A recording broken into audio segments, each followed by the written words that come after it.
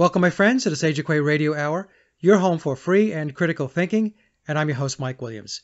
Tonight, three of my friends from Facebook, who are Paul is Dead researchers, join me for a roundtable discussion to share their thoughts, insights, and feelings on the McCartney conspiracy. And so, without further ado, here's the show.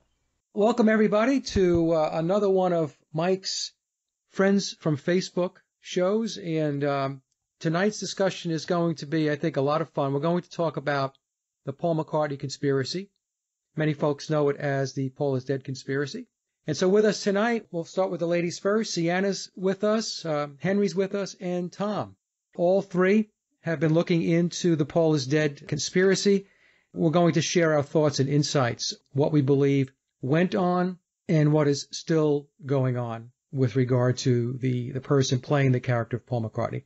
So to kick things off, uh, Sienna, why don't you just give us a little bit of your background on how you got into the McCartney conspiracy? Actually, it was kind of a, and you had mentioned in the questions about um, an awakening, kind of having an awakening, and I had a personal experience that was an awakening about eight years ago, and then it just after gradually after a few years, it started. I started connecting with um, things. I started seeing through things. I, there were more to things that I was being told. Uh, uh, that type of thing. So it kind of gave me more of a curiosity about the truth. And then when I came across the Beatles and um, the thing about Paul and Faul, it just there was just something because even though I was a child um, in '66, I was like three years old. But I remember liking the Beatles, and then I remember all of a sudden there was a time not long after that, or when I, that I can remember, that I didn't like them anymore. They started doing dark things. Putting all that together has kind of made me go forward with Paul. Okay, so you recognize something was not right many years ago. And when did you really start pursuing taking a look into the conspiracy? Was that recently or was it a long time ago as well? About three years ago. Okay. Not that long ago. Okay. Henry, how about yourself? Well, I became a Beatles fan back in '98. I was uh, I was born in the mid '70s, and I was kind of just always a fan of music. And I thought to myself, well, if I'm a fan of music, I should know the Beatles. So, kind of just decided to buy a Beatles album, and it was actually the uh, the blue double disc, 1967 to 70. Followed that with uh, the the prior set was the red disc double disc set, and um, basically, I just I kind of had my own Beatlemania starting in 1998, and you know back then I had a 10 disc CD changer in my car, and I think I had about three or four years that uh, I had all Beatles in my CD changer, and that was just kind of my own little Beatlemania. As far as understanding, you know, what happened with Paul, um, you know, I consider myself to be a real big fan. Most everybody I, I met, you know, my age especially, I was the guy that kind of knew about the Beatles, but somehow you know, I knew things didn't quite make sense. I, I knew something changed about Paul, but I never, I, I never could figure it out. I just thought the drugs or, you know, whatever. But for me, I just, there was no, I couldn't understand anybody's motivation for taking out Paul. And so that, I couldn't understand the motivation behind it. So that's really why I never pursued it, even though I'd read about it, uh, you know, you know, early on as I got into the Beatles. So it was about, I would say a year and a half, almost two years ago that a friend posted something on Facebook, you know, and a friend that I know is kind of into a little bit more alternative stuff. And I'd had an awakening around 2012 and kind of at the end of 2012. It was actually Sandy Hook that kind of got me started. But um, anyway, so it was about two years ago that I started looking into it, and it just it's taken a while for it to soak in because I kind of had to look at all the evidence, and then um, as it soaked in, it all just kind of started to make more and more sense. All the different things that never quite added up to me previously. Yeah. Okay. Okay. So about a year and a half ago. Right. Two years ago. Okay. All right. Tom, how about yourself? Well, you know, I got into the Beatles. Nobody in my family is really a musician or anything like that. But when I was about seven or eight years old, and for some reason, I was running around the house and I was playing soldiers. You know, I had this little toy gun, and for some reason, my dad was home and he was watching Saturday matinees, and the Beatle movie Help was on. And I remember running across the uh, living room and hearing this music. And it was a part in the movie Help where they're all on the beach and Paul McCartney's like dancing with this girl, like he's holding her like a guitar. And I think the song was Another Girl or something like that. And I remember just hitting my knees and falling in front of the TV and dropping my gun and was like, what is this? you know, and it was just like mind blowing and changing. And I was like, that's what I'm going to do, you know, and it was, and then, you know, and for some reason I had a friend that lived across the street from me that was my same age and you could go to the library back in those days and check out CDs and records and stuff. And so we went there one day and, and, uh, I found the Beatles 65 record and the Red album. And so we took them home and listened to them and just were like completely just like, this is it, you know? And, uh, we had, you know, we got a couple of guitars. We got our parents to buy us guitars. And at the time I had an older sister that lived in Pennsylvania. I'm actually from Mississippi and we went and visit her and she, she, we were hanging out one night and she was, she put on the Beatles White Album and then she, and, uh, she had this poster and we were listening to all this stuff and it got to revolution number nine and all this weird stuff started happening. She started telling me about Paul had died and stuff like that. And I was like, you know, it was just kind of overwhelming, but, and, uh, so I just kind of processed all that. She actually had a, I think she had like a magazine of Tom Life when he was on the cover of the magazine where they had said he had died. So anyway, she gave me that record and that poster. And I remember seeing that poster. She pointed out some things on me on that poster. Like a, I think in the bottom corner, there's a little picture of, you know, him with the mustache. Like that's really William Campbell. Right. And that always stuck with me. But I just kind of thought maybe it's just like a marketing thing as I got older. And then obviously I became a real musician and started doing that for a living and moved to Nashville. And it was, it was about five or six years ago. I went to a, a store called the Franklin Guitar Shop and the guy that owned that place, when I walked in, he was, he was reading a book. It wasn't the Billy Shears book, but it was one of those things where like it was another one of those books. But basically, in a nutshell, he he was a professional musician. He used to play with like Lorrie Morgan. He was a steel player and stuff like that. And he completely believed the whole thing. So we got into this conversation about it. We we started talking about it. So I went home and I started researching YouTube again, and I came across the whole I am a phony stuff. Yeah. And just started really looking at all this stuff, and you know, spent about a year or two and just re-digging back in and I'm sold, man. At this point, then I found you through all this. and Tom, you are a musician. Yes. Yeah, and I want to make sure the audience understands that because we're going to get a musician's perspective on this also, which I think is, is very important. So we'll go back to Sienna for a, a moment here. Sienna, knowing what you know by doing the research, has this changed your your perspective of the Beatle music? I mean, do you still enjoy playing Beatle music, or is it tainted now because, well, we've got this conspiracy out there where it, it certainly appears that biological Paul McCartney is not with us and hasn't been with us for 50 years. So how does that sit with you as far as enjoying Beatle music? Actually, I enjoy it more now because I'm looking constantly looking for meaning. So, I mean, and that could be frustrating, but I, I do, actually, I enjoy it more now because, and then I, you get to thinking, and I'm a singer and actress and I've written lyrics to songs and man, if you think about it and you write songs, there's something that triggers, I mean, it may be really off the wall, but, or it could be something personal in the lyrics that people write. So that makes me even, that made me even more curious about the lyrics because what was going on in their life at that time that kind of got them on a certain topic. Okay. Or, so you still enjoy the music?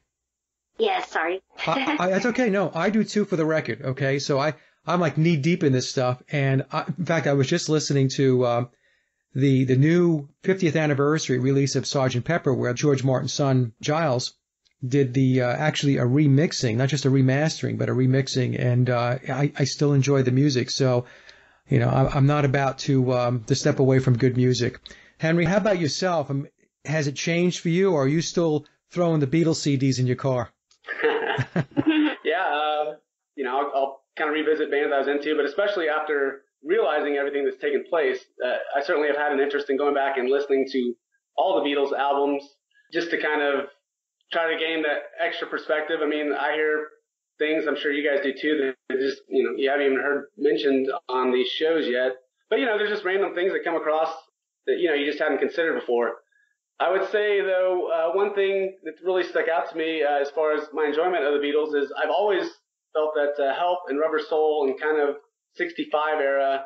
You know, that time frame was my favorite period of Beatles music, and uh, to me, it, you know, I never could put my finger on it. You know, I guess I thought, well, that was just before before they got creative, but you know, to me, that's when I now understand that's when the band was clicking. That's when they were at their prime, kind of, you know, the organic band. They had had those three years basically of fame, and I, I still feel have developed a lot as musicians. I would I would love to have seen how the next three years uh, of the band or even longer could have played out with all of them remaining together. That would have just been amazing because if their creativity could have continued to grow and for a good positive effect on humanity, that would be awesome. But, uh, yeah, I guess I do. I would say that uh, I have a hard time listening to Faul's music without thinking of vaudeville, as I know you mentioned in one of the, the prior shows. It's it's like so much of it's just show tunes, and he can't really get out of that uh, whole type of genre. It's like I just I, I feel like I almost feel an aspect of that in just about everything he does, and that uh, to me that's part of the just phoniness uh, that that exists from that period on, I would guess. Yeah, that was basically his history, and he brought it in with him into the Beatles.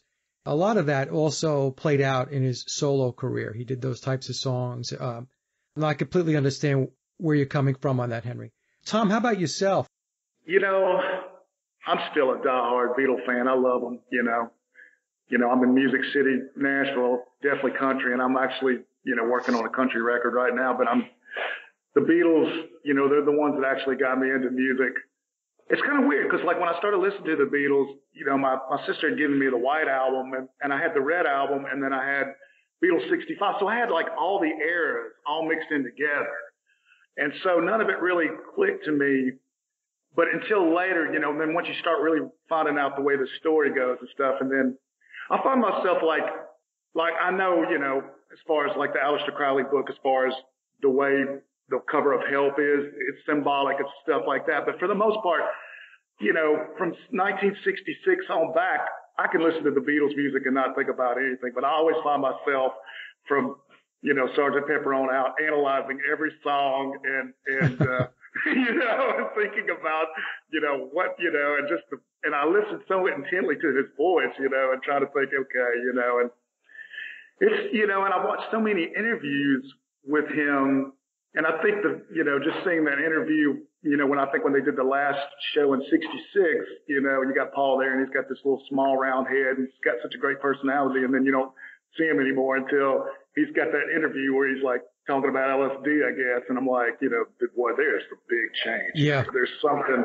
but it, you know, it has it even, you know, the dark aspect of it that I know we'll get into in this, the show, but it's still, you know, their music is great, you know, and Paul, I loved his 70s stuff, you know, William or whatever we want to call him. you know, I definitely liked his stuff, Band on the Run record and all that stuff. Around after the Flaming Pie stuff, I've just kind of lost it, you know, as far as like knowing all this and just just seeing his interviews and stuff, and it's just like, you know, just come out, you know. yeah, yeah, yeah. I thought one of their best albums. Um, I played it to death was uh, I think it was seventy was it seventy six Wings Over America. Yes. I hope I got the year right. It's a long time ago, folks, so forgive me if I did not, but it was in the 1970s, and I played that to death. And I I agree. You know, people uh, will um, engage you know in a conversation with me about Bill Shepherd. I'll call him Bill Shepherd.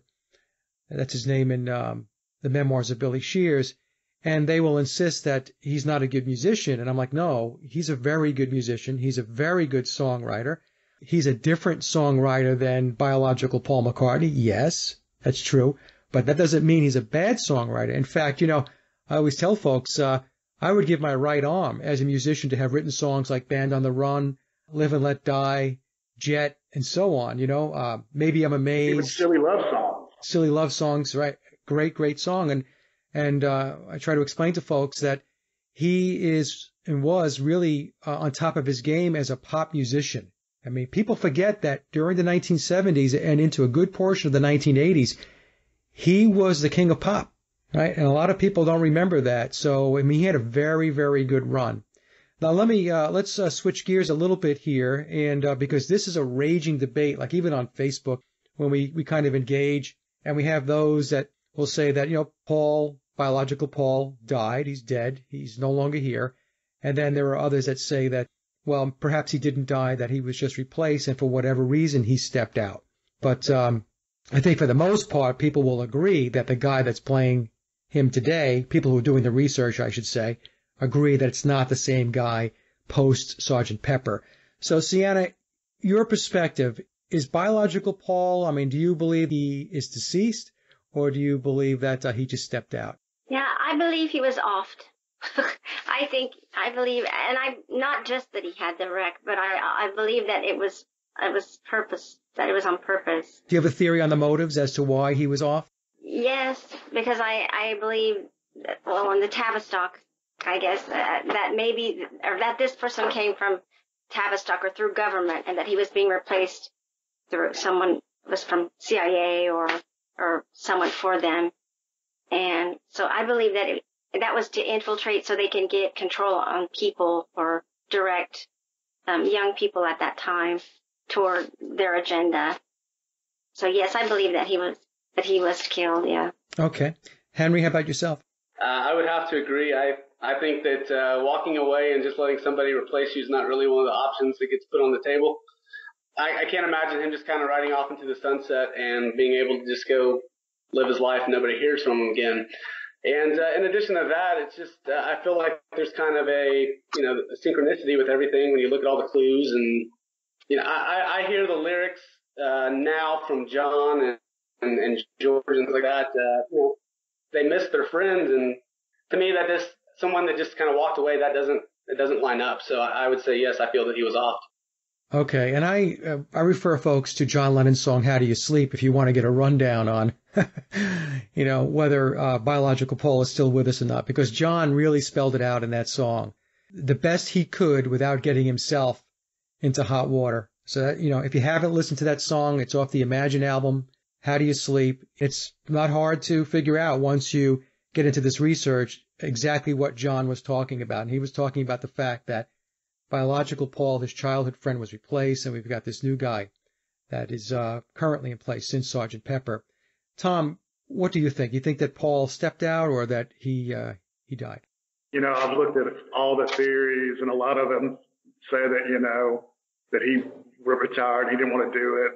And I, I have a feeling they offed him. I know that you, there was one thing where they, he was finding out about the JFK stuff, and the, the guy was going to make a movie and get him to do the soundtrack to that movie. And I just think he was probably awakening. He did not want to to be, you know, controlled and or, or have their music and stuff like that to go along with whatever, you know, the Tavistock or you know whatever dark thing it is. And I believe that probably more than likely he was replaced.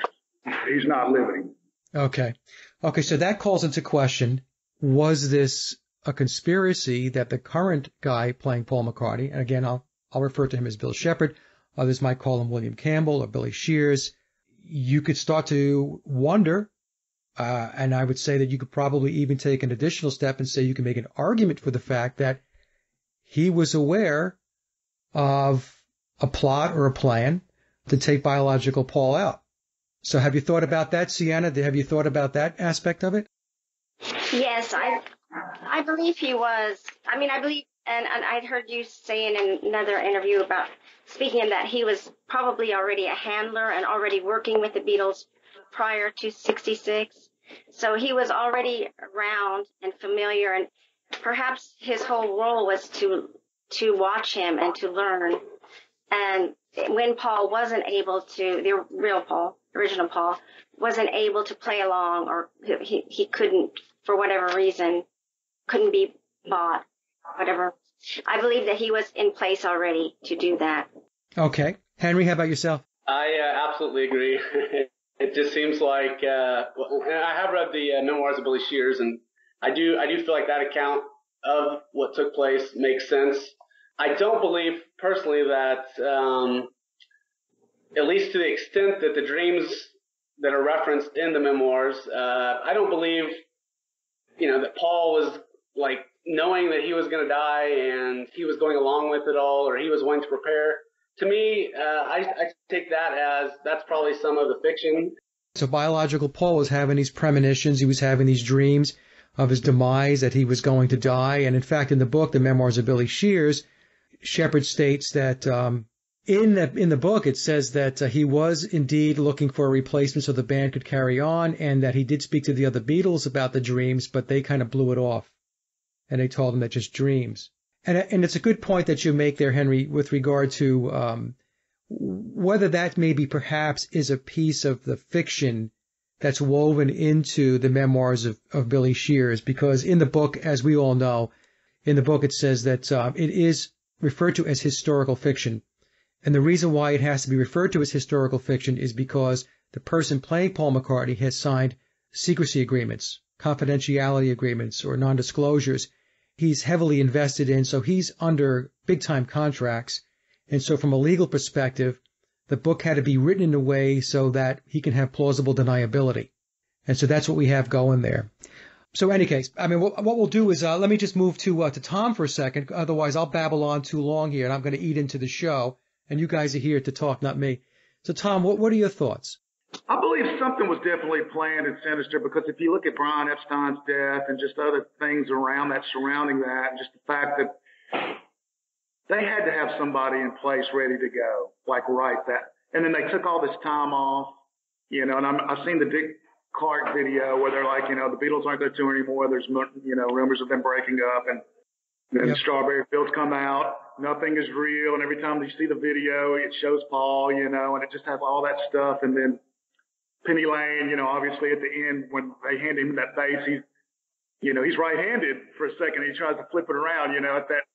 And so I think that they probably had him ready in place. And I've heard the whole thing about the Masons and his, you know, his, and even real Paul's dad may have been involved. That's a hard stretch for me. Real biological Paul's dad being a part of that. But I'm, these days, nothing would surprise me anymore. But, but it's like just the fact that, you know, they have probably had George Martin's probably was probably, you know, Oh, absolutely. Had to be in on all this and everything like that. You and know? Brian so Epstein, yeah.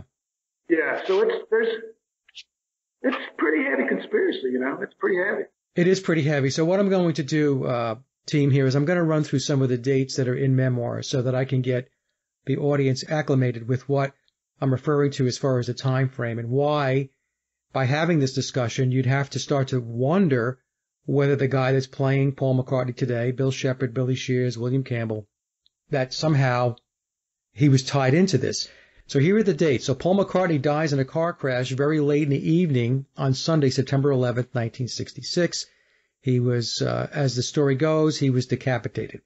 There was a lady passenger in the car. Her name was Donna. He had picked her up. Uh, she was hitchhiking. The weather was very bad that night.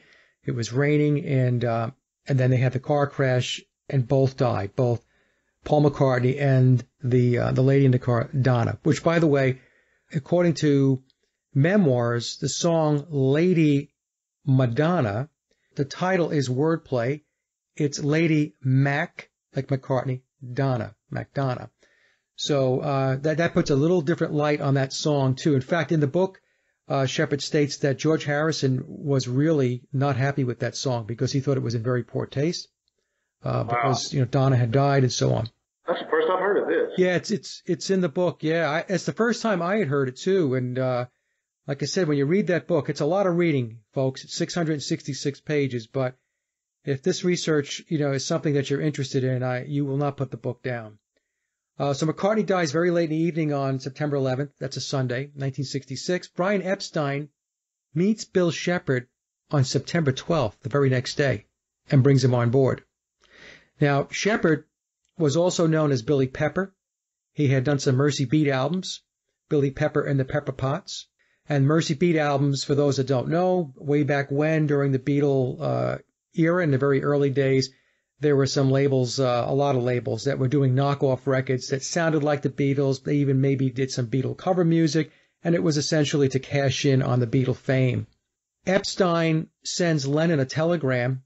John was in Paris, and that telegram went to John on Tuesday, September 13th, 1966. So now this is only two days after the car crash.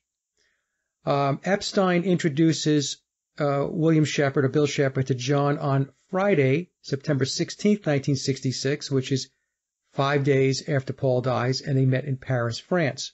Now, when Shepherd got there with Epstein in um, in Paris, so Bill Shepherd makes a list of demands, and the reason why he made these uh, list of demands was because his whole life was going to change from soup to nuts.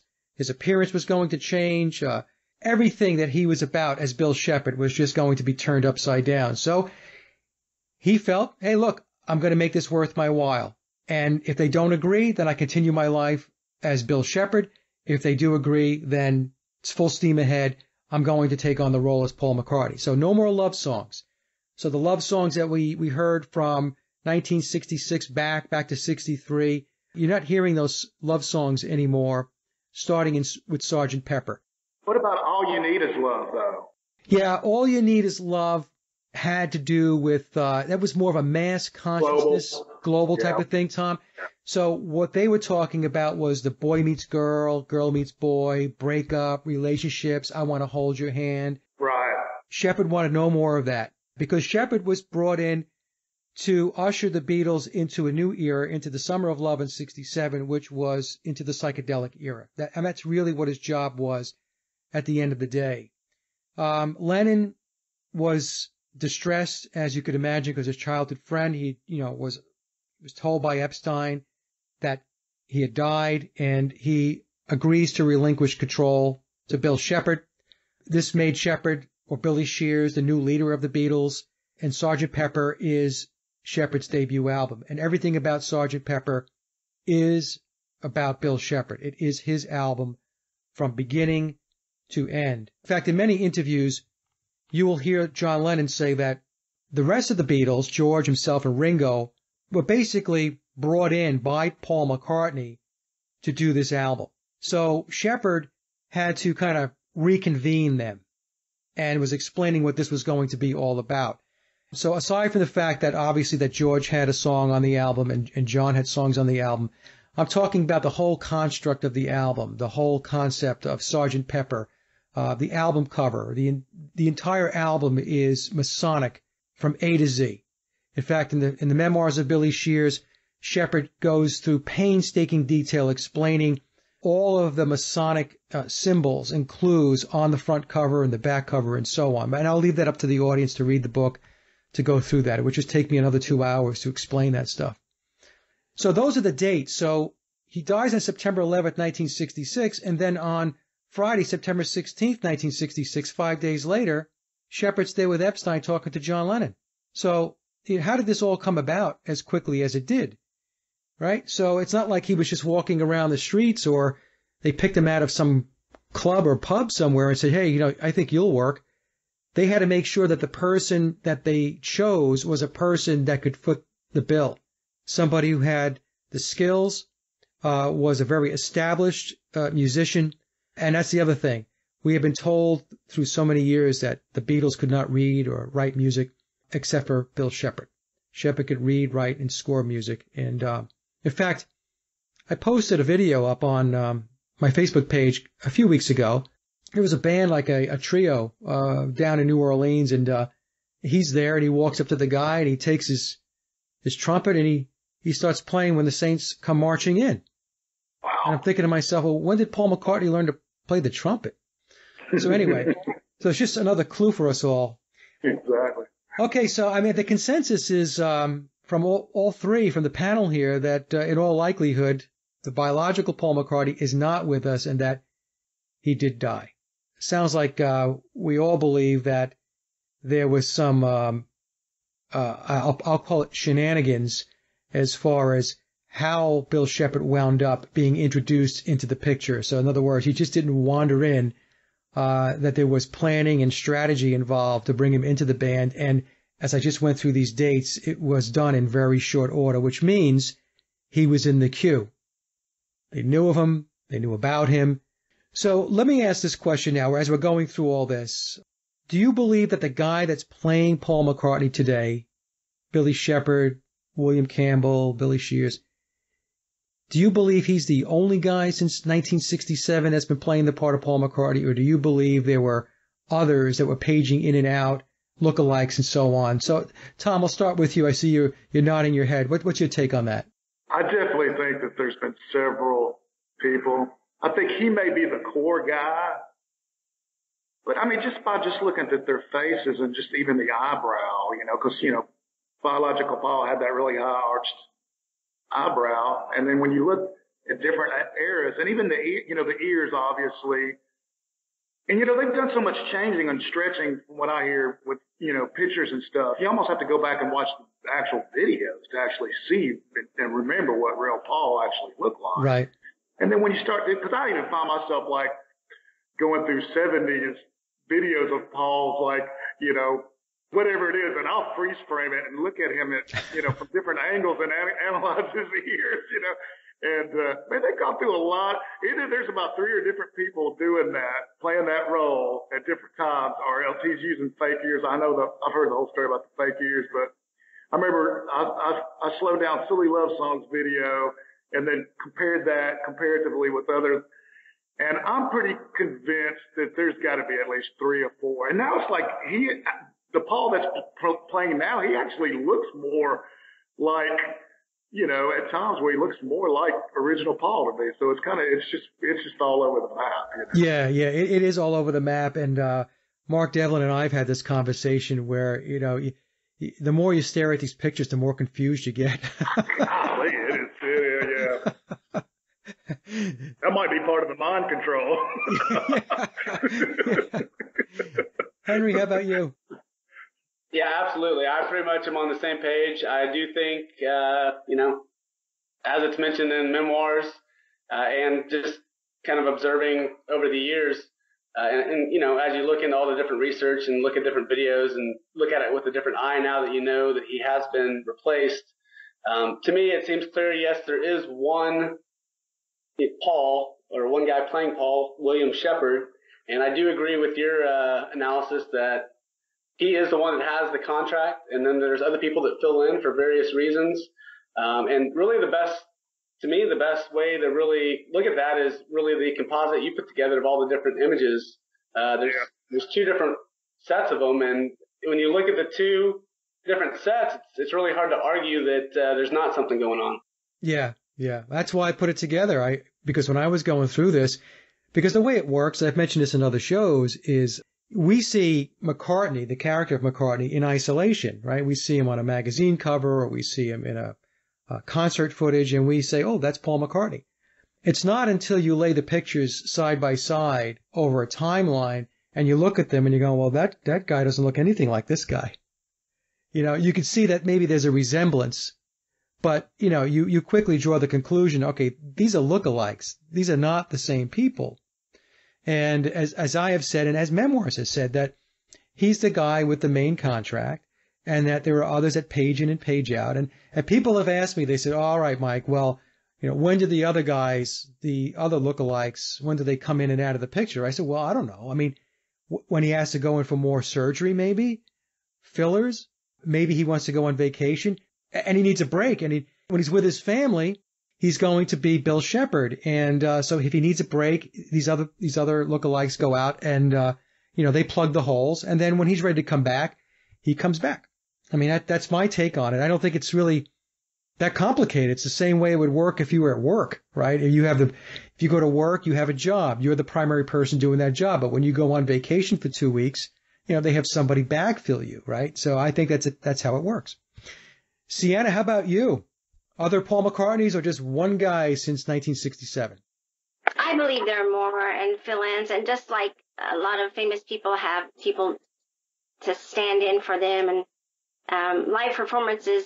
Uh, uh, probably he did most all those, unless it, if he had someone that was really that really looked good, they could even mime it. I don't know if they had to for television productions or something appearances. But I believe he's the main one. But yeah, I believe there were others. Okay, so very interesting. So all three of the panel agree that uh, he's not the only guy, that there have been others that have been paging in and paging out. Now, here's a question that I've been asked before. I'm going to ask the panel here, and Sienna will start with you. Why is this conspiracy important to you? Why does it matter? Some people will say, what difference does it make? We're talking about a musician let's move on to something more important. So why to you is this important?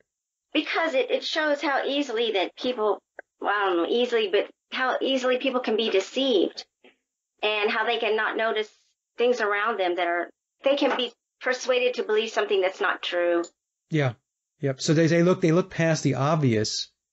Yeah. Right. They're yeah. easily manipulated and I believe. Okay. So it's, so what you're saying is that we have basically an experiment, a huge experiment, which shows, uh, how the masses can be manipulated to believe something as long as it's presented in a certain context. So, like Mark Devlin and I have spoken about this. In fact, we, we just spoke about it on uh, the show with Kara St. Louis, where actually Mark explained this. Uh, he did a great job that you have the three Beatles, you have John, George, and Ringo, and then everybody is expecting the person in the fourth spot to be who? To be Paul McCartney. So, you know, so just by default, that's who you're expecting to, to see there. To me, it's a gigantic experiment that Tavistock undertook, and it's a very successful experiment that they undertook. It proves that people will see whatever it is that is shown to them. So how about yourself, uh, Henry? What, what, what's your take on it? Why is it such a big conspiracy to you? To say that I find it uh, to be important just because it uh, just has to do with the fact that everything really is tied in and connected.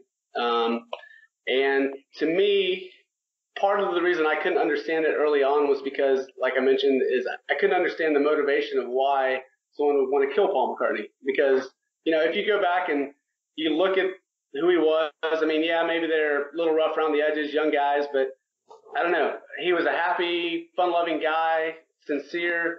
Uh, you know, that's one of the big differences I see between Paul and Faul is Paul, you know, has a sincerity about him that just could not be duplicated. Um, but I just think that it all has to do with the bigger picture of trying to control, manage, and lead society in a certain direction. Um, I feel that basically, I feel there was something big planned to happen at that particular time. Whether the Beatles were there or not, they were planning to change the culture. You know, people reference Tavistock. That's come up in numerous shows. You know, international bankers. You know, whoever it is back there pulling the strings. You know, they have an agenda they want to push.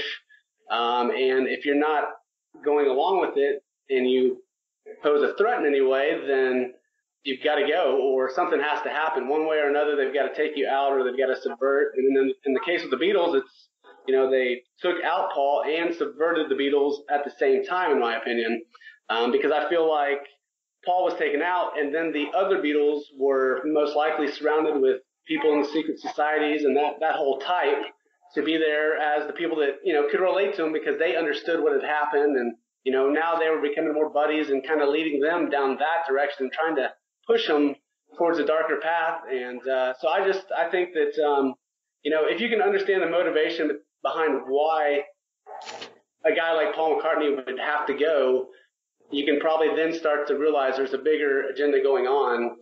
Yeah, no, I, I agree that it's part of a much larger agenda. And see, a lot of times people make the mistake of looking at particular conspiracies and they look at them in isolations like they're in a silo. And um, they don't understand that these conspiracies, they're all, they're connected.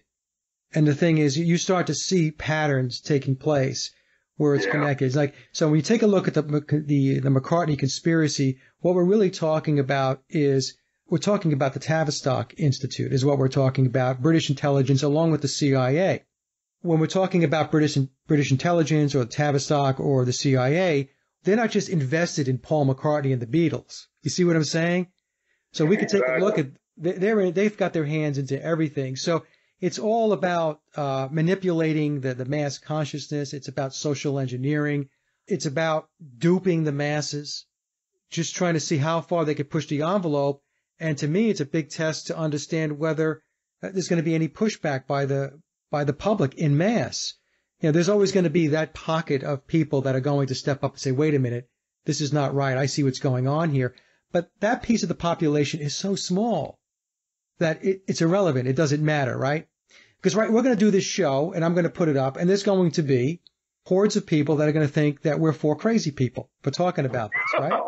right? So, but I might that's be hurting okay. my musical career here. That's okay. You have to black my face out. Yeah, don't worry. There won't be any faces. That's why I don't use last names. I Want to make sure that we protect the innocent. Tom, how about yourself? Why is it so important? This is such a hardcore thing because it's such a fun-loving thing of music, you know, peace, love, and you know when the Beatles came out, it was, you know, just packaged so great. And I, I don't think originally that those, I mean, I'm, you know, these, you know, a bunch of young guys sex, drugs, and rock and roll. I don't think they had this big grand vision of doing all this. I think obviously they got co-opted. And it's just like when the, with the reality of the fact is like, well, if, if this was intentional and he didn't just die in a car crash, it's sinister and it's the, and it, you know, it's just a gateway to actually open up to where people and say, well, you know, they actually can pull this off and they can do this convincingly. I, it's harder today with just, you know, social media and the way just everything that we have right now is so much harder to fake stuff nowadays. But back then, you know, I mean, they, you know, I mean, just look at the Charlottesville thing and everything that's just happened recently. It's just like that stuff. There's so many people, investigative journalists that are on top of that stuff now that, you know, they can hardly get away with anything. Right. The, the one discouraging part of this part of the topic that really kind of bothers me is he may not ever come out with this because if he comes out with this while he's alive, then that's a true conspiracy to, you know, and well, there's a lot of dynamics going on here because he's like wanting to reveal it, but he can't because it could be a part of a conspiracy where, you know, I mean, there's, you know, what we're talking about here. Yep.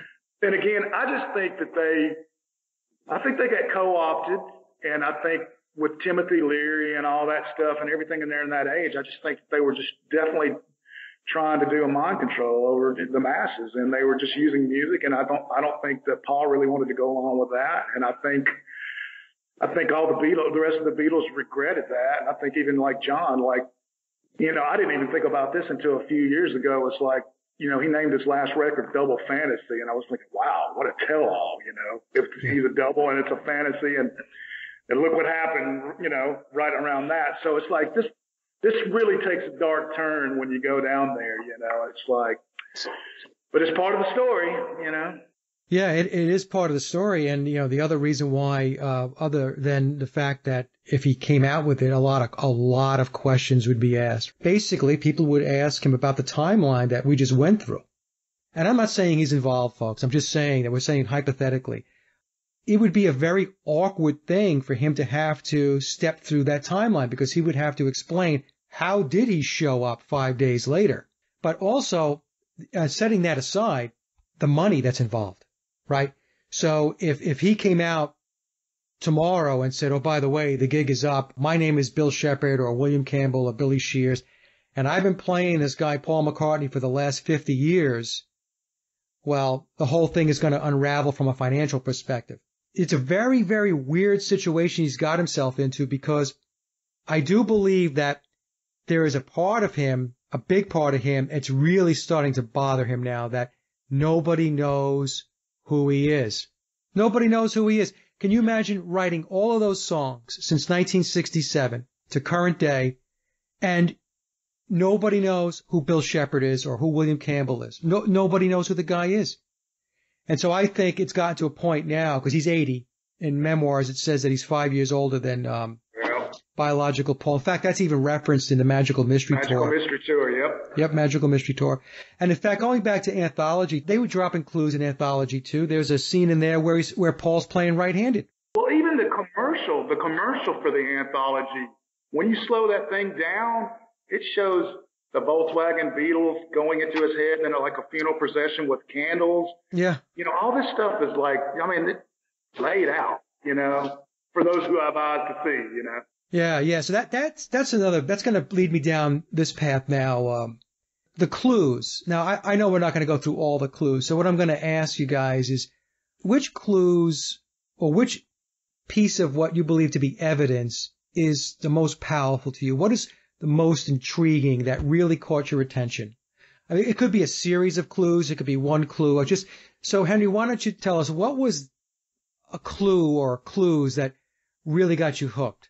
I would have to say um, I came across a documentary of the winged beetle, and uh, that just to me, seeing the whole collection of everything together, and then really just spending time analyzing photographs. Um, you know, that's that's what kind of got me onto it at first because just it started to answer a lot of questions that I had had previously.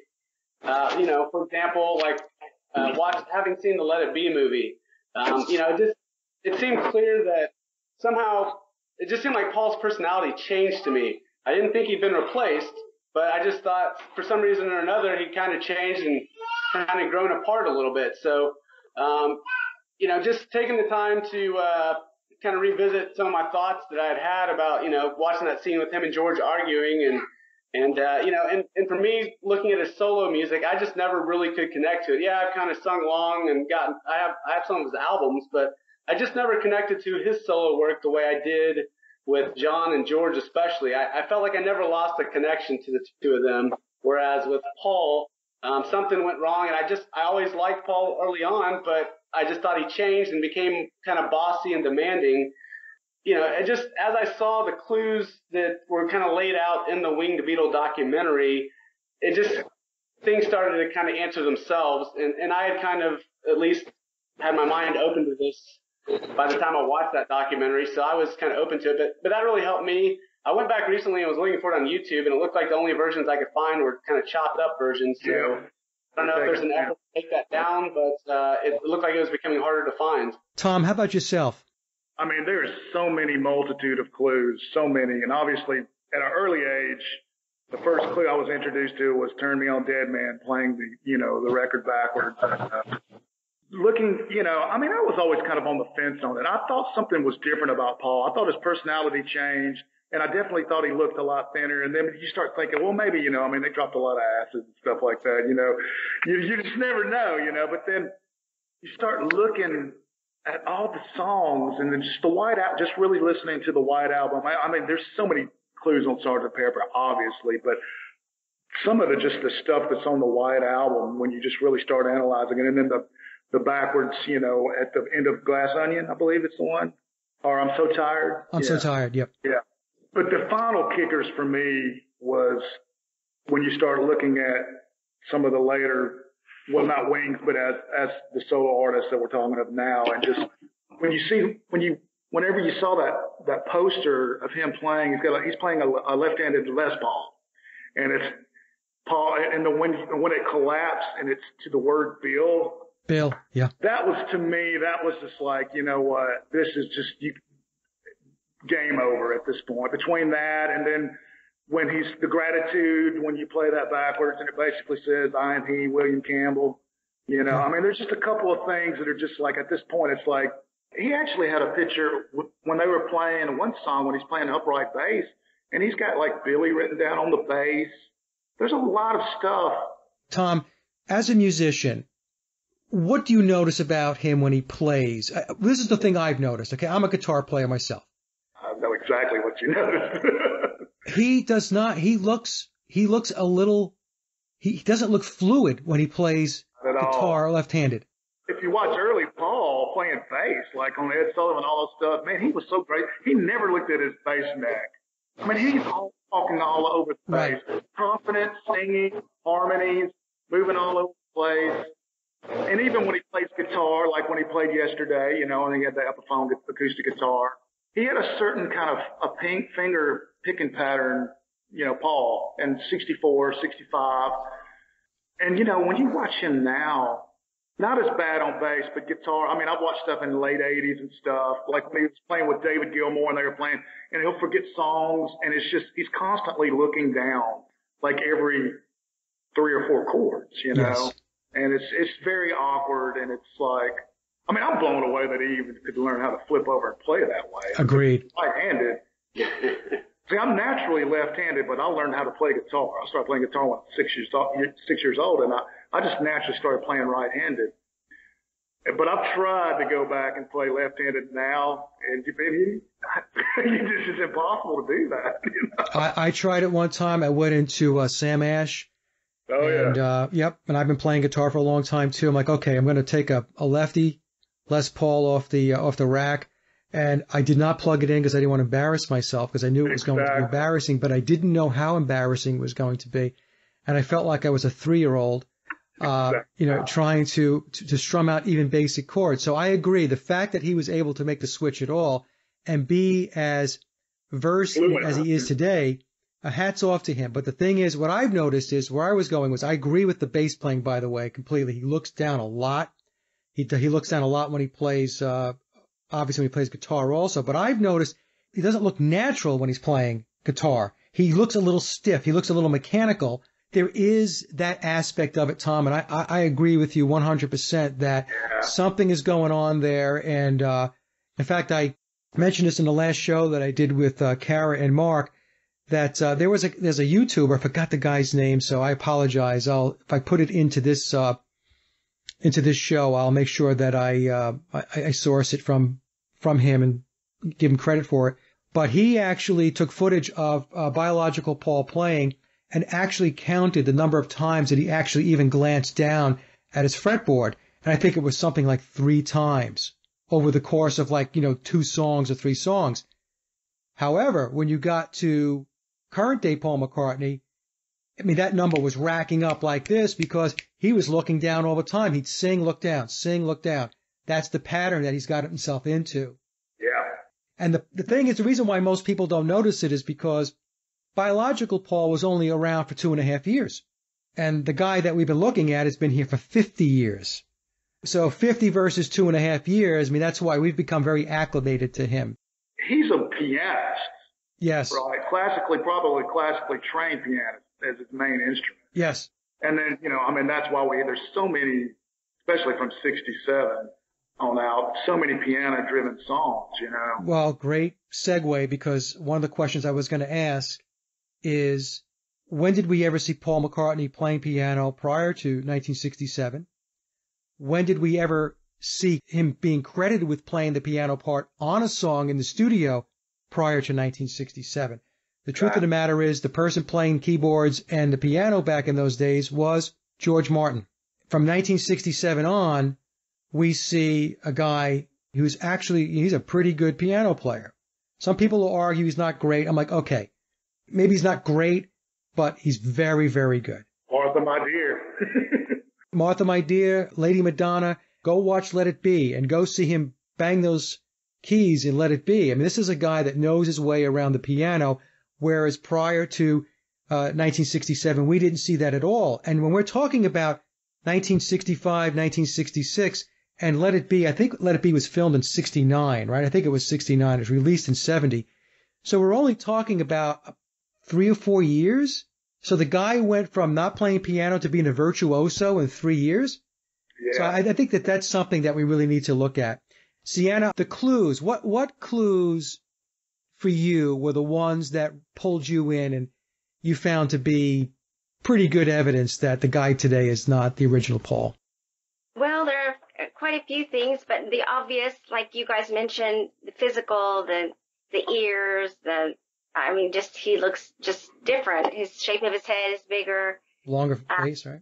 Yeah, broader face. Um, also, um, his voice is higher. His voice is a bit higher, I believe, um, oh, than yeah. the original Paul. And his personality changed because I watched previous interviews and he was a little bit more subtle. And Paul is a lot more, William is a lot more outgoing and world, he seems a lot more worldly and also something that, because as a performer, I noticed like you listen to the voice or listen to the, or watch the guitar playing. I watch actors on stage or musicians to see how they're feeling. And there was a really good vibe pre 70 or pre 66. The guys were always smiling and happy. And you notice a lot of the per- performances after that, even the second time they came to the U.S., I'm not so sure that he wasn't already in performing some because the performances, the other guys just were like, they were there, but they weren't having, they didn't look like they were having fun at all. Um, he was always smiling and, and uh, but they were not always. So I think the whole morale of the band changed. So the demeanor of Paul himself changed, and then the whole demeanor of the band shifted. Yeah, they looked yeah. more kind of. They were just going through the motions, kind of. Yeah. Okay. Okay. Let me ask this question. Um, to the panel here. Um, and Sienna, we'll start with you again because I know you were having a little bit of technical difficulty, so we'll get you back into the game here. When Shepherd or William Campbell or Billy Shears was asked about John Lennon's death coming out of that, I guess it was a hotel in London. Um, that was, in my view, a very, very poor performance. What what was your take on that? You, I think all of us have seen that. So let's go one by one. Let's talk about we're just regular people. We we probably know folks that have passed away, family members or friends or whatever, and we know what a typical reaction would be when somebody has passed away, especially if that person is close to us in the family, a close friend, or whatever it may be. What was your take of uh, that particular interview?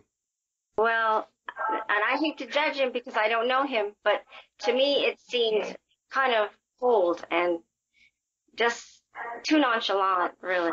Seeing that grieving, you know, it's hard to judge other people, but I mean, to me and anyone I've ever seen, um, he he it was a little bit too um, uncaring, a little bit too cold, kind of. Too cold, yeah. And we're not judging. It was just it's a basically it is our um, perspective or our reaction to watching somebody hearing the type of news that we would hear and comparing it to how we might react given the the closeness to the relationship, right? Let's remember now, you know, they went back to being childhood friends. Right. Bandmates since the, the late 1950s and so on.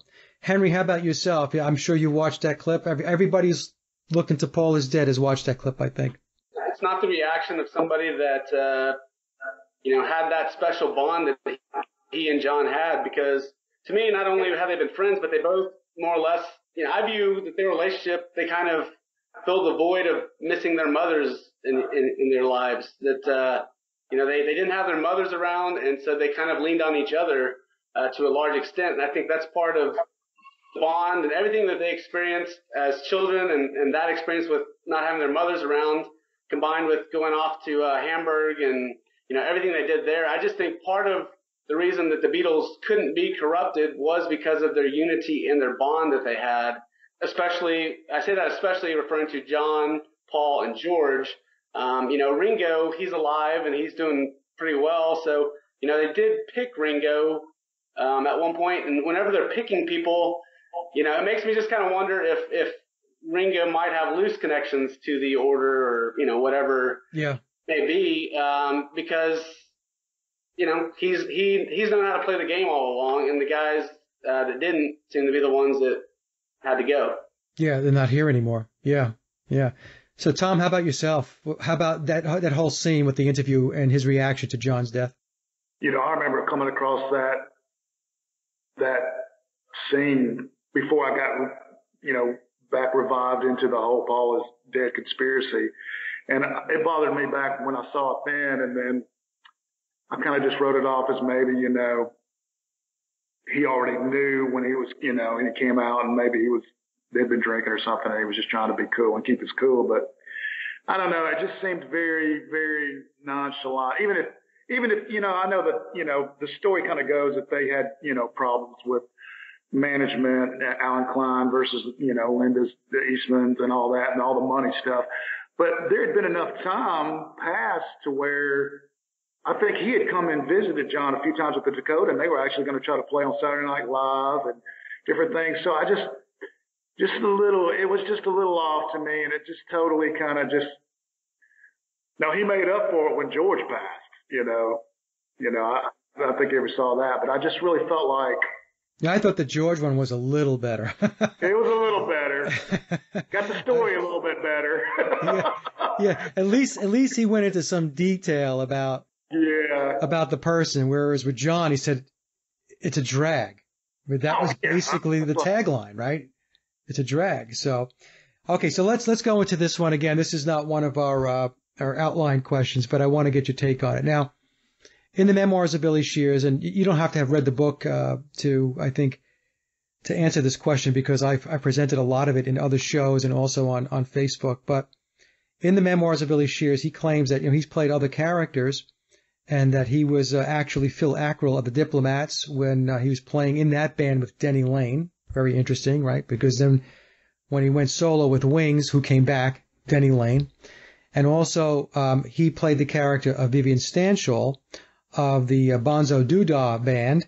And, uh, and it should be noted that in that band, he was there with Neil Innes, and Neil was a primary player character of the Rutles, which was a parody band Yeah. of the Beatles that was connected into um, Monty Python with Eric Idle actually playing the Paul McCartney part. So a lot of people have a hard time taking a look at those pictures and saying, I, I, I don't know, you know, going from Phil Ackrill, Vivian Stanshall to Paul McCartney, I, I really struggle with that. And I've explained to people, at least my, my theory on this is that the surgeries that Shepherd underwent were not uh, nip and tucks. They were not just basic little facelifts. He had basically reconstructive surgery.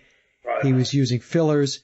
As the character of Paul McCartney and Stanshall, he was using latex. This is also uh, discussed in the book uh, Memoirs. In fact, I have uh, two video clips that I found where it's to me, it's very obvious that as Paul McCartney, he had some kind of latex prosthetic on his face.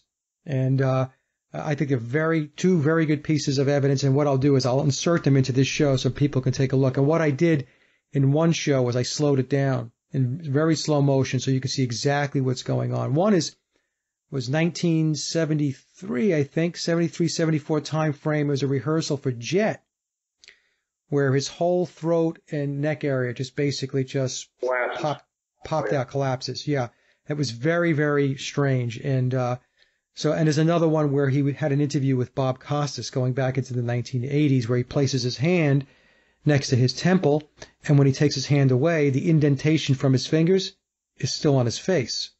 Okay, that was a that was a good one too. So I I caught that one.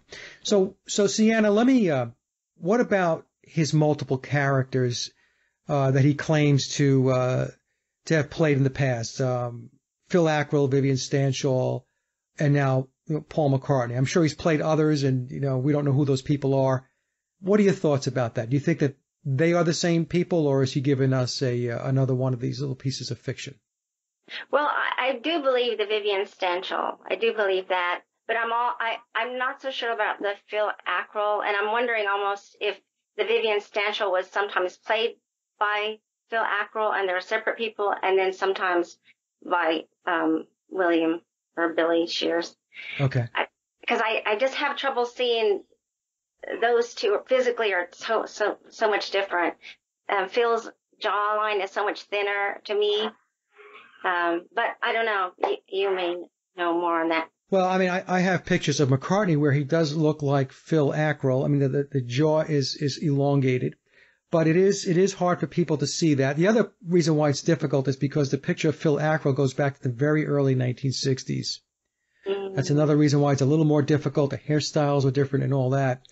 Did you notice the change in Vivian Stanshall also? In other words, Stanshall had this one look and then all of a sudden he had a, a different look Yeah. as he was Vivian Stanshall. And a lot of people don't pick up on this either, that Vivian Stanshall himself looks different from one period to another period. And the, the later period is when he starts to look a lot more like Paul McCartney circa 1967. Have you, did you notice that? Did you notice the change in Stanshall Yeah. also? Okay. And, and that's why I kind of, to me, it kind of looks like I could see like Phil Ackrill maybe doing it the, or the earlier part, or at least doing it sometimes. Maybe not, maybe like when he couldn't do it or something. But yeah, later on, it's the big, eye, the eyebrows are higher, arched Yeah. higher. I definitely see Paul in that. Okay. Okay. Henry, how about yourself? For me, I'd have to say it just it took a while for me to be able to absorb looking at Vivian Stanshall pictures enough, just kind of soaking it in, and, then also again just the whole vaudeville. It's it's more or less they kind of do the same act in my eyes. So um, it took me a while to come around to Vivian Stanshall especially, uh, but I also just think that uh, again with with uh, Phil Ackrill.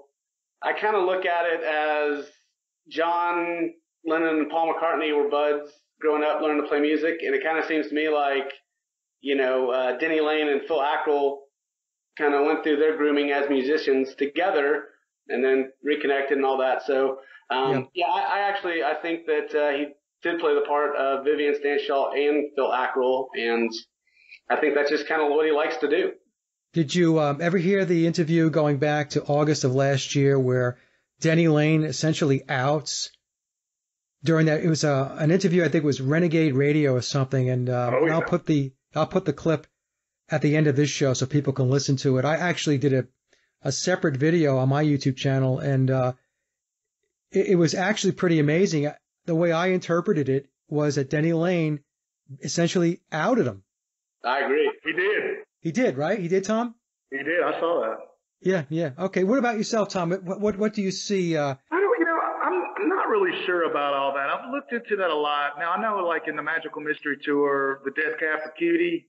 Yeah. That's uh, that's that's Stanshall. That's Stanshall and the band, right? Right. It's been so long since I've seen that movie. Was so Paul would the, the band, the Beatles weren't watching them play at that time. I mean, obviously they could. John and George were. So, yeah, that's what I thought. Yeah. I don't know. You know, nothing would surprise me in this day and age. I mean, I'm telling you, but you know, it was kind of a stretch for me. I've, I've seen some of the uh, superimposed pictures. I mean, they've even done that with uh, not Mal Evans, but Neil.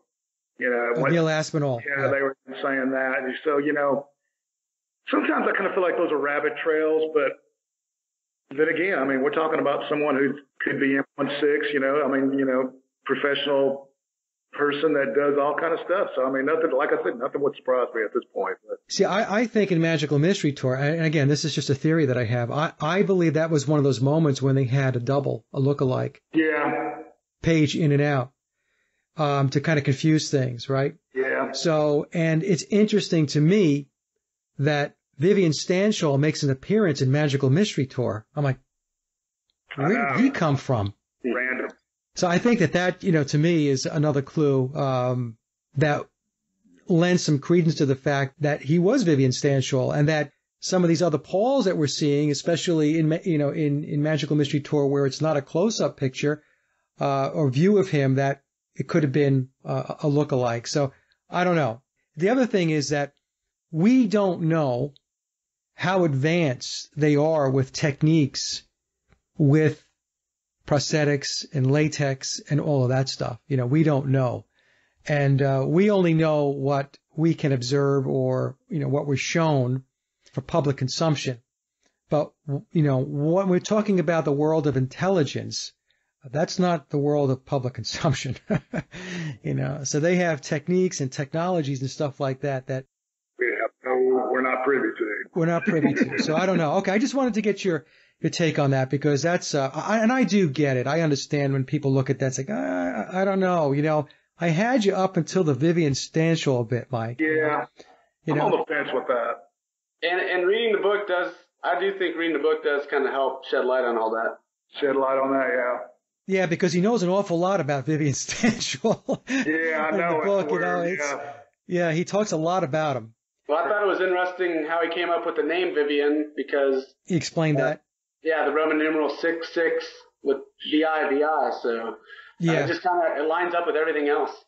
Yeah, yeah. All right. Well, again, for folks, uh, we're you know we're referring to the memoirs of Billy Shears.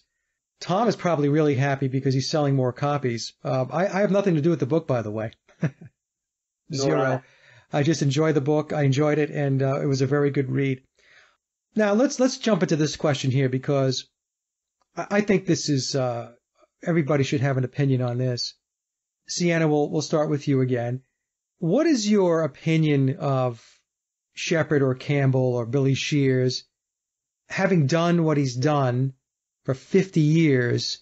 I mean, do you view it as he views it, which is basically, hey, it's just show business?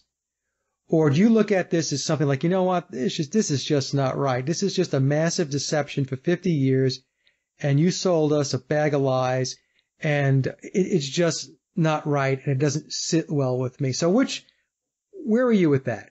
Well, at first, I, I mean, uh, when I started seeing this, it did make me angry. But then I started thinking about, well, what would have happened if he hadn't?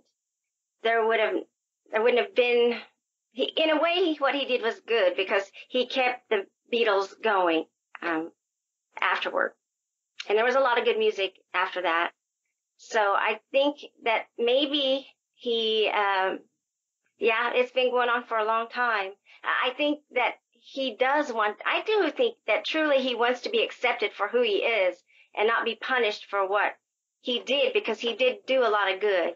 But do you think he has himself in a bind right now? Yes.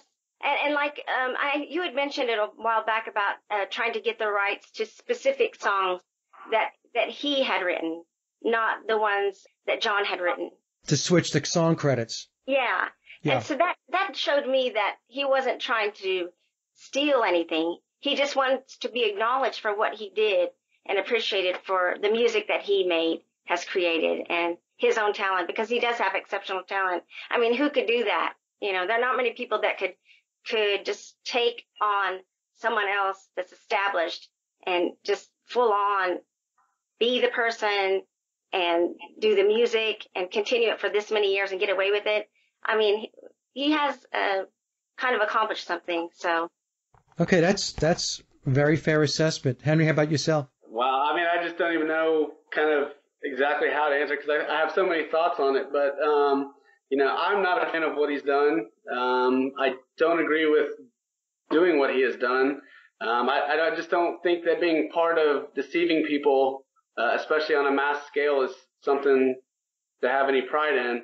Um, I just think uh, I do I do agree that he is in a bind, and uh, in the sense that his ego is just so big. That was to me reading memoirs of Billy Shears. It just I was just amazed, and I, I read out loud to my wife some of the quotes of what he said in there. It's just like who says that kind of stuff? And um, you know, I mean, he literally says he is the greatest songwriter, and it's just settled more or less. So he flat out says that he's a better musician than Paul McCartney. I mean, he just flat out says it in the book, right?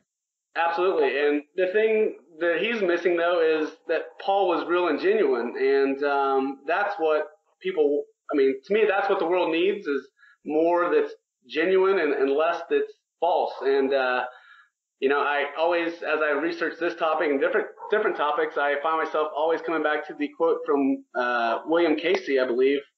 We will know that our disinformation campaign is complete when everything the American public believes is false. And, uh, this fits right into it, you know, and, and as you said, I love your quote, uh, you were talking about with, uh, your interview with Ole is, um, you know, anything worth knowing is a lie. And, uh, it's true. So yeah, um, it, it's just sad that um, that it is the whole situation is a lie for him. It's hard to feel sorry for him when he's just so egotistical and and prideful. And you know, I, I want to recognize and be a realist that he does put out good music, and I want to acknowledge that. But at the same time, he's not Paul McCartney. He never can be, and he will never be as good as the original Paul McCartney, in my opinion.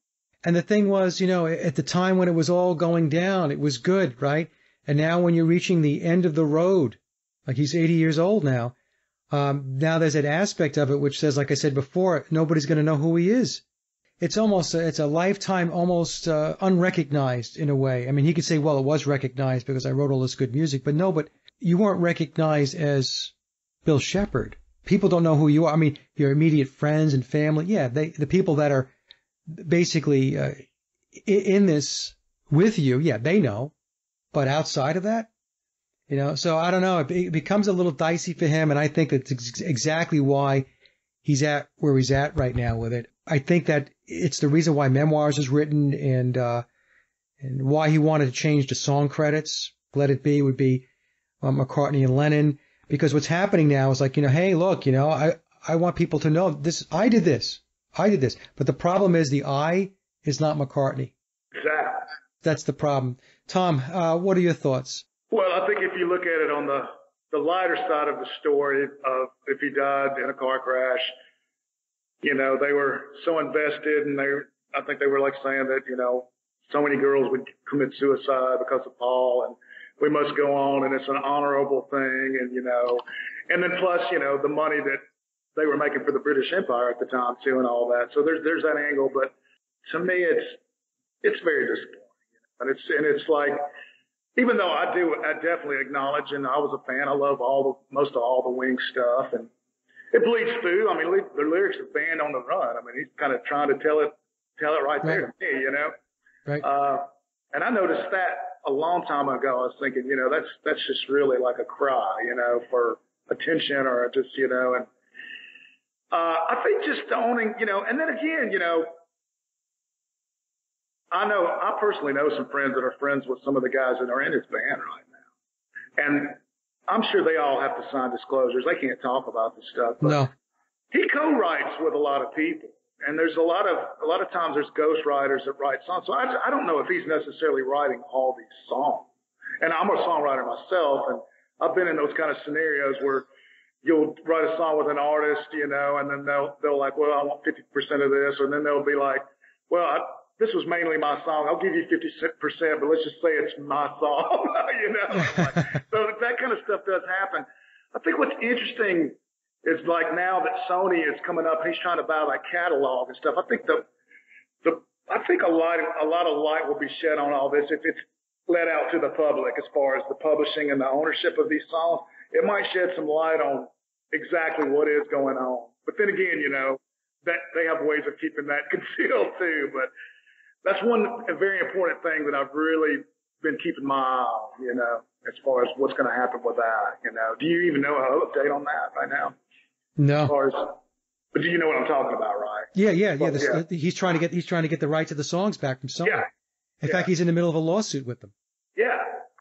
But it's like, is he going to get everything pre sixty, you know, seven? You know, how does that look?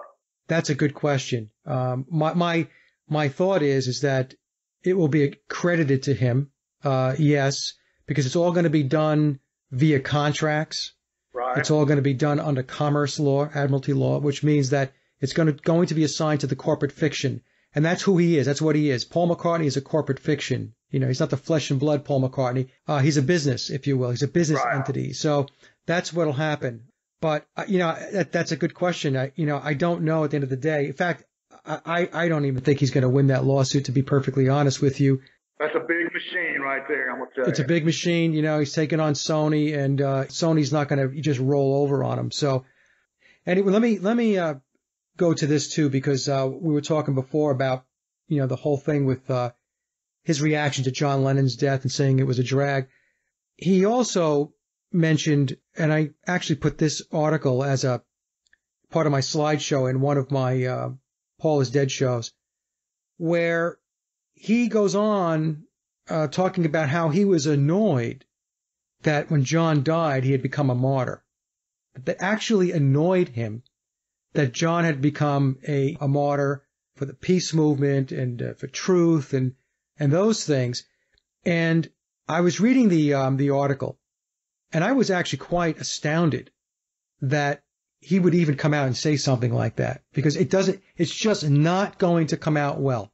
Fact, I think I had this discussion with. I think it was on Mark Devlin's show when I had this discussion, and I said, "Well, I mean, all he needs to do is basically take a step back and, and take a look at how John dealt with the public. John was, you know, he was, John was there with John Q. Public. You know, you could see him in New York, walking through Central Park, signing autographs. He was there. He was part of the, the working class hero type of population, right? Whereas you have the guy playing McCartney, you got Shepherd hobnobbing with the elite, with the ruling class, with the Queen. So how can you possibly, how could you possibly sit there and think that, you know, you're, going to be running neck and neck with, uh, with John Lennon when your whole way of who you deal with, who you keep company is completely different. I mean, it's apples and oranges. Were you guys aware of that at all? Were you aware of that? His complaining about John becoming a martyr? Sienna, you saying yeah? You knew about that? Yes, I I did read that also. I don't know if that. I don't know. I hate to say jealousy, um, but uh, attention. He was getting attention that he just thought he deserved, or maybe feels that he deserved, and it made him angry. Maybe. Yeah, is it? It's kind of weird though, isn't it? I mean, he's got all his fame and fortune, Oh, yeah. and he's harping on uh, his his bandmate was murdered, Mhm. and it was very clear to see, you know, the stuff that John was involved in. I mean, he was anti-war. The Nixon administration was trying to get him kicked out of here. Yeah. Um, I mean, he wasn't. I, I don't remember Paul McCartney going through any of that. I mean, he did write the song "Give Ireland Back to the Irish," which was banned by the UK, but that that was about it as far as I'm concerned. Uh, but he wasn't doing the type of work that John was doing at the grassroots level. So for him to turn around and have an attitude about it, yeah, it's just mind-boggling to me, you know. Yeah. Henry, how about you? Did, did you read that article? Or did you know about it? Uh, I've heard of it. I've not read it, but it just it's it's totally in line with everything that you read in memoirs, and just seeing him in interviews and the way he acts. I mean, not surprising to me whatsoever. Okay, Tom. I actually saw an interview where he was talking about it, and he was very detached, and he and he was like not even talking about it, but he was talking about like you know when they pass, you know, they become a martyr and stuff like that, and it was just I, I had a problem with that when I saw that too. That's been a few years ago. But then he started incorporating a lot of John songs in his concerts. yeah, yeah. that's interesting too. I because I've been at his concerts and he will. I, I think uh, he even played uh, something uh, oh, wow. when I was there. On a ukulele. Yeah, on a ukulele. Yep. But you know, I'm I'm sure he has. I'm sure he has an affinity for those guys. He was in the band with them. But it it just comes across sometimes that you know what it comes across like like exactly that. Like it was almost like they were acquaintances. They had a working relationship, right? And when he steps out of the working relationship, he doesn't really have an attachment to them. And so he'll he'll make statements like, well, when they pass, they become martyrs because he almost dissociates from that period of time. It, it just comes across that, that way to me that it's, you know, he, he, he wasn't in the family, if you will, right? He wasn't in the, the Beatle family. He was an outsider that came in and, you know, he was there for, for three years as part of the band. And then, uh, you know, they went their separate ways. And I think that, uh, he has this dissociative view of, uh, of the Beatles to a certain degree and of the band members that were in the Beatles, the other Beatles. I agree because even in the in in the memoirs of Billy Shears, he kind of he, seems like that when he talks about a lot of the things that happened in the past. He's kind of separate. Um, but I think the fact that he, he when he came in to the Beatles and he took over, so they probably had a bit of resentment for him after a while. I mean, they probably didn't mind at first, but after a while, they probably got to resent maybe his control and and so they probably didn't treat him the greatest, and so that probably in turn made him when they started getting when he started getting attention, John, that he probably resented that after what all I've done, and then he's getting all this attention. So I don't know, but that's kind of my take on it. I thought George during the 1980s especially was just wanted nothing to do with him. Yeah. And that's how it came across to me. Tom, what do you think about George's relationship with him? I have a question about that because uh, when Jeff Emerick started becoming their engineer, and it, and that was with the Revolver record actually, I think. And, yeah. And that was you know Biological Paul, but then he kind of crossed over, and uh, I've read his books and stuff, you know, and he he doesn't really speak very favorably of George and all the rest of the Beatles either. I, I actually think he got into a fight with John during the White Album. I think John said something to him like, a little little time in the service would do you good or something like that. And he got really mad and he quit. You know, he quit he quit being their engineer, but he ended up rehooking up with Paul, you know, and he's been like, you know, Paul's engineer for you and he wrote a book about it. And he kind of talks about George and I've noticed George that there's that one time where he's clearly saying Faul. And people say that it's been changed, but I've looked at that so many times. That interview, yeah. yeah. yeah. And uh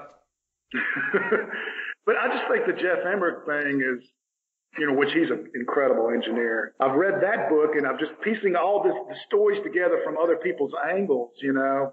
Ringo's just been pretty happy-go-lucky about it, the whole thing, you know.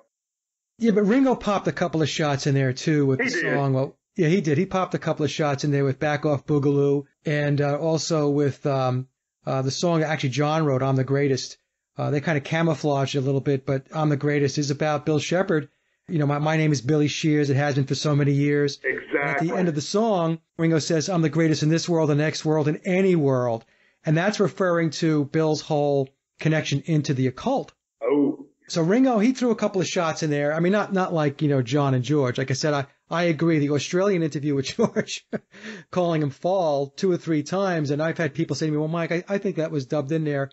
And no matter how much I watch that clip, I'm like, you know what? No, it's not being dubbed because you can watch the lips. There's a difference between you know, between saying Paul and Faul. I mean, you you could just watch it and you could see that he's saying Faul. You know. Oh yeah. Did you have something to say, Sienna? I didn't mean to cut you off there. I was just agreeing with you that that George um, did say that too. That he, that he did call him Faul. also, that was funny. What do you think about George's relationship? Uh, it, like I said, it, it, to me it seemed pretty terse, especially during the 1980s. Yeah, I mean, I agree. I, I love watching that uh, interview on the Australian TV. But uh, yeah, I just feel like George just uh, more or less said, "I've had enough," and he just didn't want to play along anymore, and did everything he could just to live his life and, and not have to go along with it and just be removed from it as much as he could. I read, uh, and I don't know how true this is, but I had read that um, when George was with the Beatles, especially early on, George Martin dictated all of his guitar parts, all of his lead guitar parts, and told him to play this note, this note, that note, and this note. But if that story is true, that lends more to the whole flavor of this thing that it's very, very, it was very controlled, very, very controlled. And uh, of course, George Martin was uh, a very high level Freemason. He was knighted. He was Sir George Martin later on. So uh, I think George probably had a lot of built up type of resentment as a musician. Uh, I can't imagine if I was sitting in a in a studio and uh, the producer came over to me and said, "Mike, I want you to play this note and this note in that note. I probably would have hit him over the head with the guitar.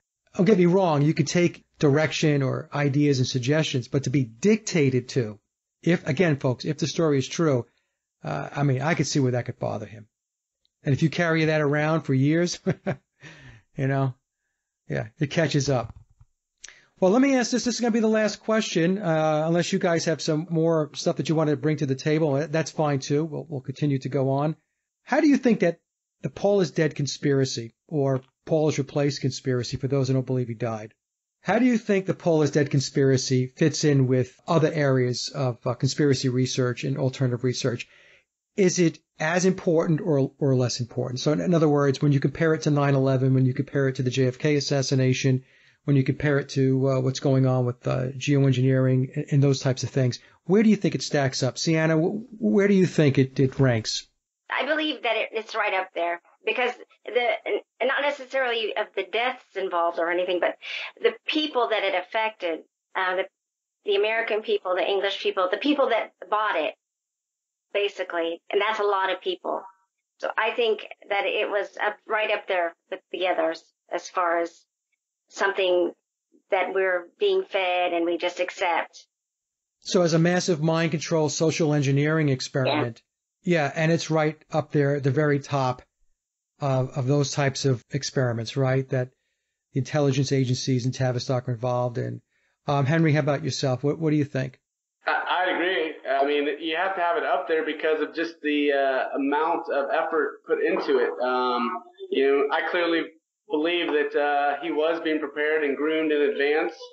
You know, just to realize um, the amount of effort the links that they went to, all the people that were involved, you know, American, British.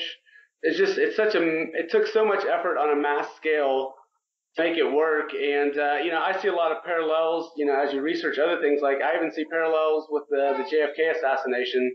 Um, you know, uh, you know, I, a lot of that's unknown, but I seem to think there's a pretty good, or at least it, it kind of makes sense when you look at the devil. The devil is in the details um, and you think about, um, well, the, the movie, if you guys have seen it, uh, everything is a rich man's trick, JFK to 9-11. Yep. Um, I just think that uh, it makes a lot of sense when you look at uh, Officer Tippit being taken out because he had a nickname uh, with the department JFK. That just there's a resemblance there, and knowing the morbid things they do with you know swapping bodies and things like that, you know that makes a lot of sense to me. That kind of resonated with me when I watched that film. And so to me, the whole car wreck, um, all that had to do with plausible deniability. Um, the fact that, uh, you know, the body just happened to be beat up so badly that it was unrecognizable. If you're familiar with Fletcher Prouty, uh, wrote the book The Secret Team, uh, spoke about how uh, he was sent off on a liaison mission to Antarctica or South, the South Pole, you know, whatever he said, um, to basically be out of the way while they ran the whole JFK operation to me, uh, John had to be off away in Spain to make sure that, you know, he didn't accidentally end up with Paul or, you know, they needed Paul by himself and, and John away where he wouldn't accidentally be in the picture while they tried to pull off their operation. So that's just kind of a theory I have. That's a good point. I actually have never thought about that, that maybe John was away because he needed to be away. So, Tom, you had a question, and then I just, um, you know, my mind is going so many places with this last question, and just some of the things you said. You know, I, I was when they did the anthology and they showed the uh, "Free as a Bird" video when they're having the wreck and they're all standing over there in that brief sec- section when the van comes by, the face is implanted on there of supposedly, you know, the crash. Uh, Paul, you know what I'm talking about? Yep. It's like a for them to to be continually perpetuating that and even having the love record with the whole code thing and all that. How did how did they get everybody else to go along with it in the band? That's my my biggest question. Unless they, you know, were threatened, or you know, or or but yet, but like when Brian Epstein passed away, they're like completely in shock when you watch them on the video when they're with Maharaji, you know, and it's like right. So it's like I don't know. There's just a lot of unanswered questions that when I'm trying to piece it all together, you know, to make it cohesive for me, you know, because I mean, I believe it. I believe everything we're talking about, but there's a couple of things like that that just, just like how would they re- relinquish this kind of authority and power to someone when John Lennon, you know, was just such a the heavy, you know, early Beatles, he sang the, the majority of the songs, such a heavy handed yep. person, very creative writer, book writer and stuff like that. It's just like, I don't know if the, does the book, the memoirs go into any of that as far as like what it talks about. Well, he talks a lot about the Masonic aspect yeah. of it. Okay, so so I, to answer that question because that's a very good question, Tom, is there's a couple of aspects to this. Number one is that everybody that's involved in the music business, at least at the level that the Beatles were, we're talking about the Stones, the Who, right, right Donovan at the time, they all knew. They all knew because they are all in the club. So right. we have a fraternal order, right? And we have to understand that when we get to the, the big time in the music business and entertainment, this is all controlled. It's all controlled. And it's all controlled by fraternal orders, by the secret societies, by the Masons. I believe that the Beatles themselves, they were still very young guys. And you have to think about the, the power and how ominous the apparatus around them was. Now, they may not have realized that initially, and I don't think they did realize that initially. But I think when this thing came down, they became very aware, probably because they were told and approached, this is the way it's going to be. You're going to stay in the band, and you're going to put a smile on your face. And I, I think at, at that time, what happens is you start to understand the breadth of what's really involved here. Think about it, right? when you think about today, uh, the intelligence agencies, you think about the CIA, the FBI, the NSA, the DIA, and you think about, you know, the, the power that these organizations that they hold and they wield. I, I believe that uh, it's very possible that they were told this is just the way it's going to be. There are no options. So there is no multiple choice. And you're going to go along for the ride. And, and I think that as time went on, they took a couple of um, shots at op- trying to open up the can of worms. I think that the clues that they wrote, the Beatles put in the songs, this is going to be weird for a lot of people. Because I get asked that, well, why all the clues then? You know, well, was it to expose it? I think that part of it is that they did want to kind of get something off their chest. Relief. But another aspect of it is that there's an occult aspect of this. Right. And by continuing to put the clues in the songs, they are continuing the ritual. So as an example, if a song that they wrote is occulted, in other words, the lyrics actually mean something else, or in that song they have backmasking, and you have the masses singing that song, what's happening? It's almost like a, a mass mantra that's taking place. And in their minds, that makes their power of their magic more powerful because they have many, many people and their consciousness and their energy dedicated and devoted to what's going on. That's what I think is probably a bigger piece of what's going on versus I say the part about getting it off your chest because I do believe that John and George got to the point where they're like, you know what? this this is just not right, Right. especially in their solo careers. But there's another aspect of it. In fact, it's interesting because uh, George Harrison, when he wrote uh, My Sweet Lord, he had said that he intentionally put the uh, uh, the mantras at the end of My Sweet Lord when he was singing Hare Krishna, Hari Hari, right? Right. That's a mantra. And he, in an interview, I actually uh, was either reading it or I watched an interview with George where he stated he did it specifically for that reason because he knew that people would be singing the song.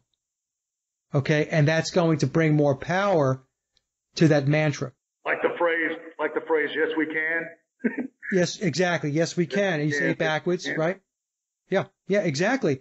And um, in fact, I, I played uh, Let It Be backwards, uh, you know, the backmasking there, because in memoirs, Shepherd talks about the fact that Paul is dead closer in Let It Be backmasking. And I, and I went into Audacity, I turned the song around, I reversed it, and lo and behold, he's absolutely right.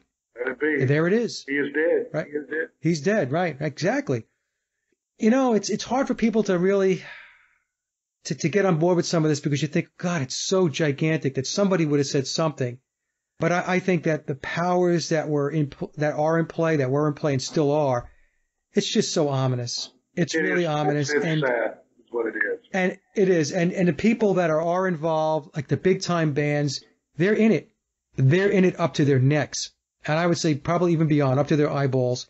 Rebecca and I went to a concert. We went to go see Foreigner's 40th uh, anniversary tour, which, by the way, they were lip syncing.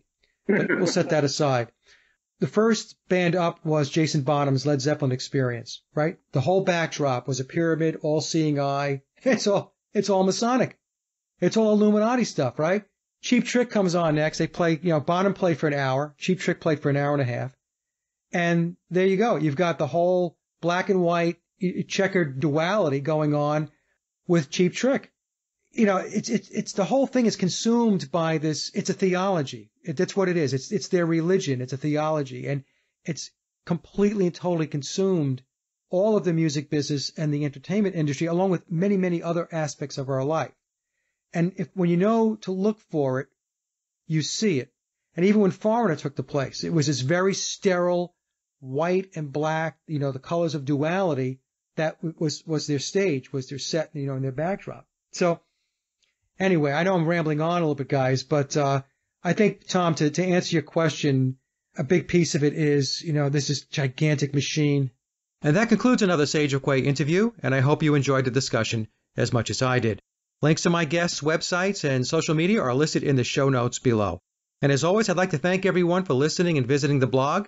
You can get to the blog by typing in sageofquayradio.blogspot.com or simply head over to our hub website at sageofquay.com.